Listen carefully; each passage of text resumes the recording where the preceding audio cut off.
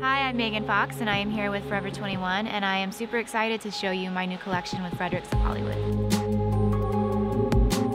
My inspiration for this collection was, you know, you know, it's coming out at a time when people are going to be attending festivals, and so I wanted something that would really work with festival wear. I think lingerie empowers women because it encourages you to embrace your body now as it is.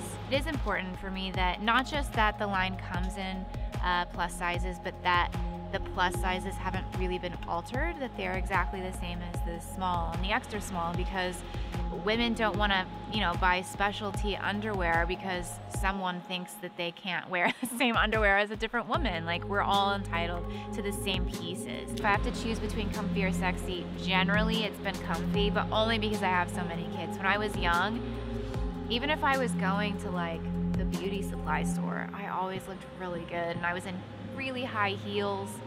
Remember those like those clear heels that had a huge platform? I would wear those to Ralph's. What has happened to me? Now I'm always in slides and sweatpants. My go-to karaoke song is usually something by the band Journey. Granted, I can't sing, so that's a bad choice for me, but I try anyway.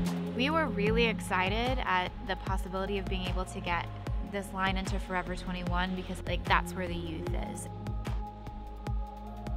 Thank you for watching. I have been Megan Fox.